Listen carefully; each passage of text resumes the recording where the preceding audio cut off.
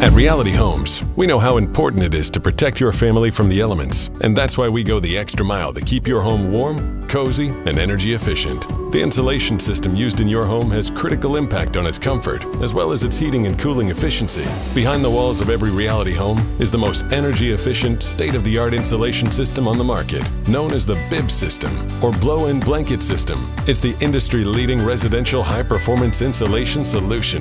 The BIBS system is the ideal insulation for today's building structures and offers outstanding thermal performance and high R values that saves you on heating and cooling energy costs.